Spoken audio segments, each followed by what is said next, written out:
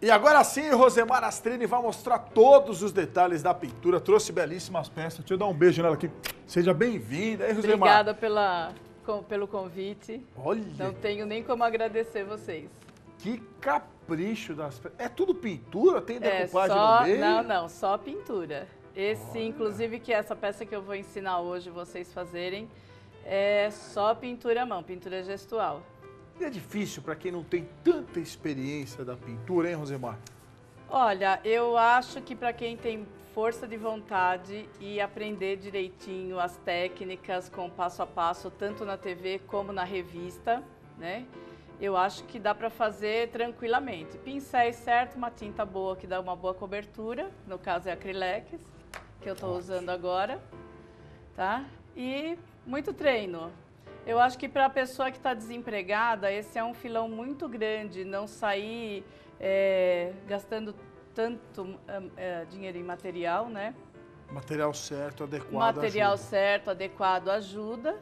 E a pintura gestual a gente imprime a nossa expressão, né? Ótimo. Vou chamar nosso câmera aí, quero mostrar todos os detalhes. Não é todo dia que a Rosemar vem aqui. Desculpa que eu estava passando na frente do câmera aqui. É porque eu quero que mostre, eu quero que conseguir, né, tentar mostrar para vocês os detalhes de como a Rosemar trabalha.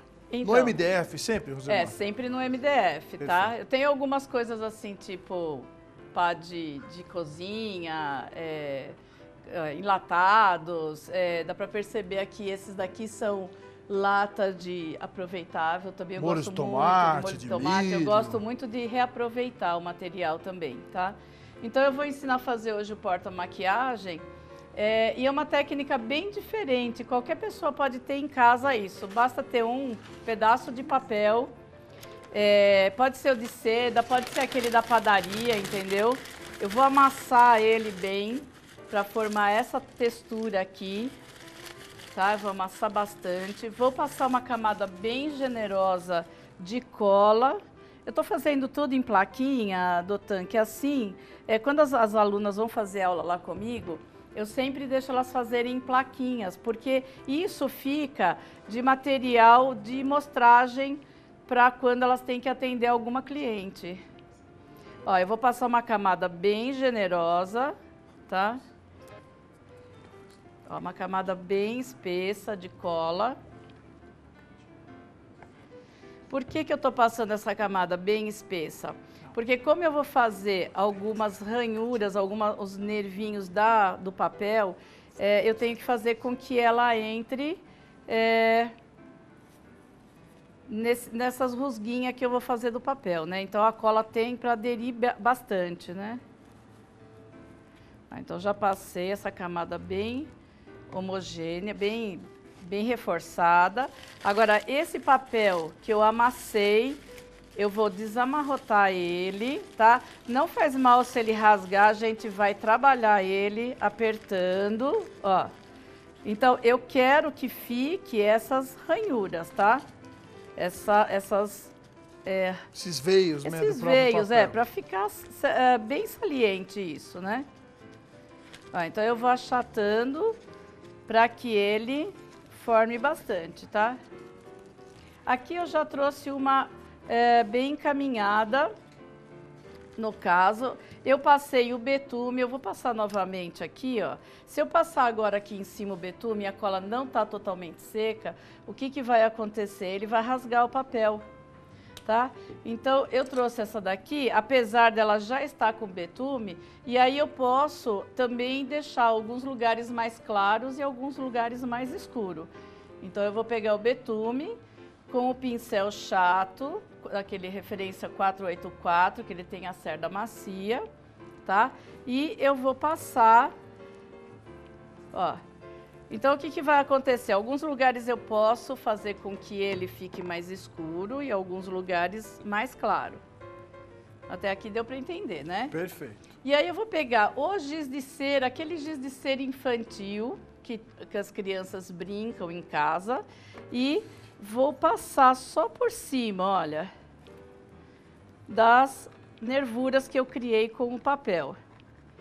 E isso vai fazer com que eu dê esse efeito bem diferente na minha peça. Deu para entender? Acho que Ótimo, sim, né? Tá mostrou fácil. muito bem. Ó, aqui eu já trouxe um pronto, Já seca. tá? Agora, aqui esse, a outra parte do, do organizador de maquiagem, eu vou pegar essa plaquinha, eu já vim com ela passada o marfim por baixo, tá? É, e aí eu vou fazer somente as florzinhas.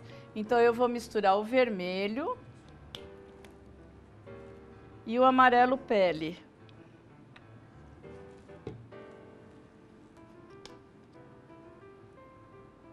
Essas florzinhas, elas são muito engraçadinhas para vocês colocarem em caixas, é, fazer alguma coisa em quarto de criança. Então eu vou pegar aqui, ó, dupla carga no pincel, também aquele pincel 484, tá? É, vou dar uma batidinha aqui para suavizar a cor da tinta. E essa daqui é uma florzinha muito linda, ó, côncavo e convexo, tá? Com o mesmo pincel, eu vou apertar e puxar, apertar e puxar e vou formar a florzinha. Vou fazer no outro também.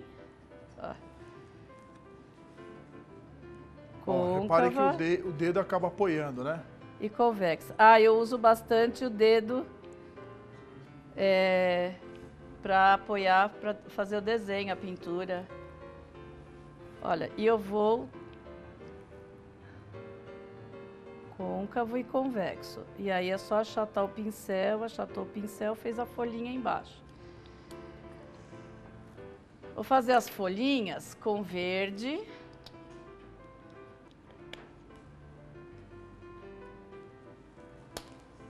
O amarelo. E vocês vão perceber que eu estou usando também o betume junto, só que aqui eu vou usar o pincel língua de gato. Carga lateral também, olha, dupla carga, tá? E vou pegar um pouquinho do marrom. E aí vou soltar as pinceladas.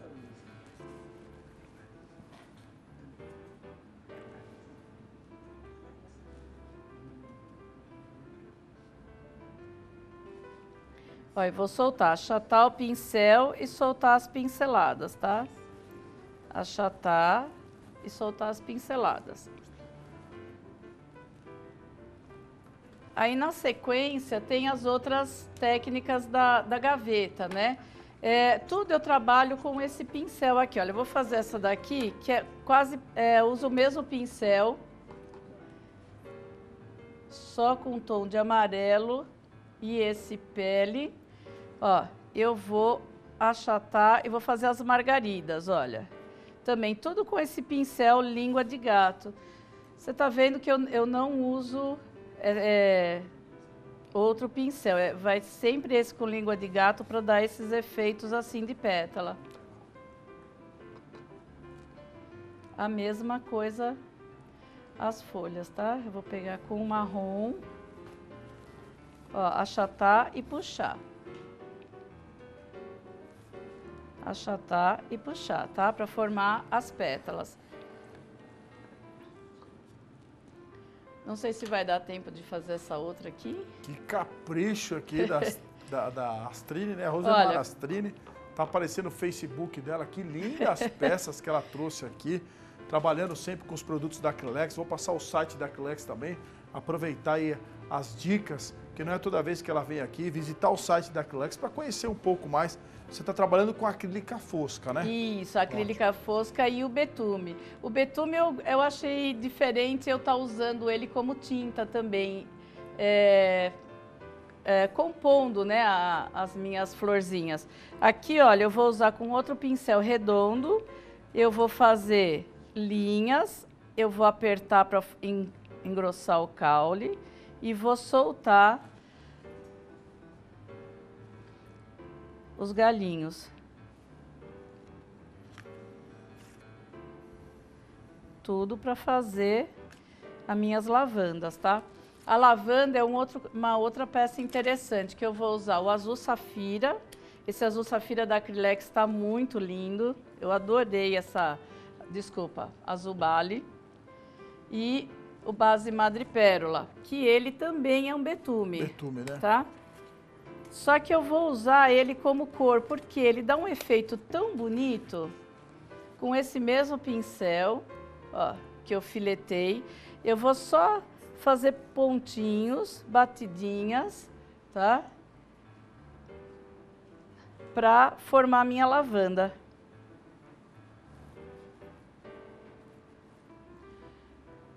Está vendo que não é difícil essa pintura gestual. É só treino e o pincel. Agora eu vou ensinar uma coisa bem diferente. É, quando a gente era criança, que a gente brincava isso em escola, vocês lembram das goivas, né? Então o que, que eu vou fazer? Eu vou pegar a goiva e vou fazer sulcos nessa minha peça, interferindo mesmo no desenho, tá? Eu posso escolher a goiva mais fininha para fazer um sulco menor, tá? E aí, por que, que eu estou fazendo isso? Eu quis fazer imitando o estilo de um barroco moderno. Então, eu vou fazer, olha, eu tirei as lascas do MDF. Ó, posso alguns lugares fazer mais e outros menos. Isso em todas as plaquinhas, em todas as técnicas. Depois eu venho com o pincel 484, ele é o chato, vou pegar o betume, vou aguar ele um pouquinho, tá? E vou passar em cima. É, onde eu tirei os sulcos, ele vai ficar mais escuro. Ele demarca mais, né? Ele demarca mais, isso. Tá? Vou colocar esse aqui. Vou fazer o outro no claro, olha, para vocês verem. Que capricho aqui da Rosemar. Olha, ficou muito bonito, hein, Rosemar? Ficou Eu bom, queria mais nessa... uma vez passar o, o, Facebook da Rosemar, o telefone dela. Ela trouxe as apostilas ali é, é, e também algumas sugestões de pintura country. A Astrine, vocês estão vendo aí o Facebook dela e o telefone. Ela que tem uma loja aqui em São Paulo, na região da Casa Verde, famosa, todo mundo fala da Rosemar Astrini. Olha no branco, viu, Márcio? Consigo mostrar no branco? Olha, Olha no branco no dá branco, uma ó. diferença, né? Olha que bacana, que lindo que fica no branco Fica um efeito diferente, né? exclusivo. E passar também o site da Acrylex, que é o acrylex.com.br. Nosso programa foi corrido hoje, é porque a gente tenta mostrar o máximo de coisas, nem sempre a gente consegue mostrar, mas a gente tenta mostrar sempre a maior parte das peças aqui que os professores trazem. Eu preciso só lembrar o pessoal que nessa sexta-feira eu estarei lá na Center Pano de